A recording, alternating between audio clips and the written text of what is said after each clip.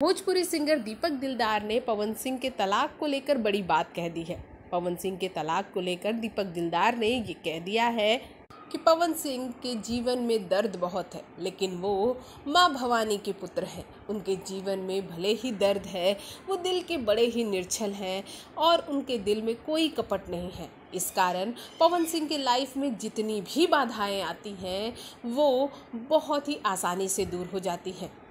पवन सिंह के जीवन में कई बाधाएँ आई हैं, लेकिन पवन सिंह ने उन्हें बड़े ही हँसते खेलते आपने देखा होगा कि क्रॉस की है। खैर, इसके आगे बात करते हुए दीपक दिलदार ने ये भी कहा कि आजकल पवन सिंह और स्मृति सिन्हा की जोड़ी को लेकर बहुत कुछ कहा जा रहा है, लेकिन आप जान लें कि भोजपुरी इंडस्ट्री में ये नया नहीं है कि पवन सिंह लगातार किसी हीरोइन के साथ काम करते आ रहे हैं। इससे पहले उन्होंने अक्षरा सिंह और काजल राघवानी के साथ भी बैक टू बैक कई फ़िल्में की।